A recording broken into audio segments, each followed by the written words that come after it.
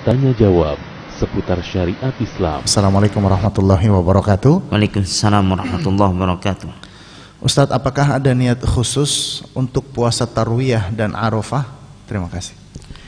Alhamdulillah wassalatu wassalam ala rasulillah wa ala alihi wa sahbihi wa mawalah. Ya. Amma ba'd.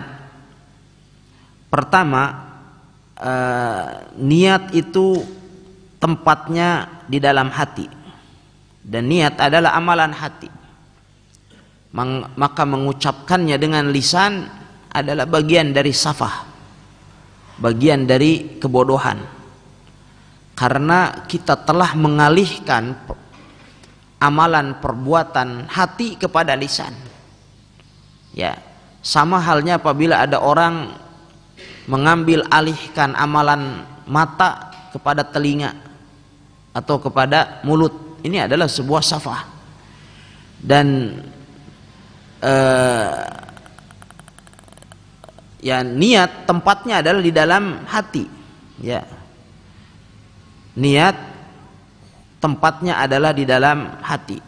Sehingga tidak perlu untuk diucapkan ya tidak perlu diucapkan cukup kita berniat dalam hati kita bahwa kita hendak melaksanakan saum tertentu maka itu adalah sudah sudah cukup ya. Lalu kemudian berikutnya bagaimana dengan saum tarwiyah? Ya bagaimana dengan saum tarwiyah? Di mana saat ini berseliweran di jejaring sosial adanya anjuran untuk melaksanakan saum pada hari tarwiyah. Ya secara khusus saum tarwiyah ini tidak ada. Memperbanyak saum dari mulai tanggal 1 sampai tanggal 9 dari bulan Zulhijjah ia disunahkan. Tetapi ya tetapi saum yang dinamakan dengan saum tarwiyah ya ini adalah tidak dikenal dalam syariah.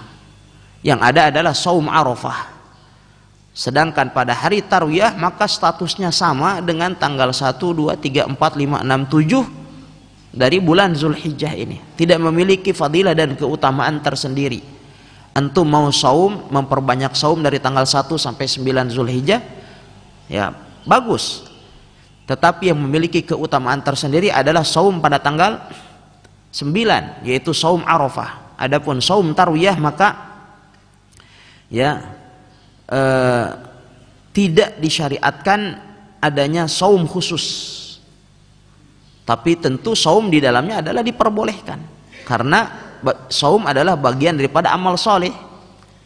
Ya, bisa dilakukan dengan saum mutlak tetapi tidak dinamakan dengan saum tarwiyah yang memiliki keutamaan tersendiri adalah saum Arafah pada tanggal 9 dari bulan Zulhijjah yang insya Allah tahun ini akan jatuh esok sehingga diusahakan seoptimal mungkin agar kita dapat melakukannya karena fadilahnya dapat menghapuskan dosa setahun ke belakang dan setahun ke depan sebagaimana telah disabdakan oleh Rasulullah SAW dan betapa banyak dosa dan kesalahan yang telah kita lakukan dan betapa kita sangat membutuhkan adanya pengampunan dari Allah Subhanahu wa taala tersebut.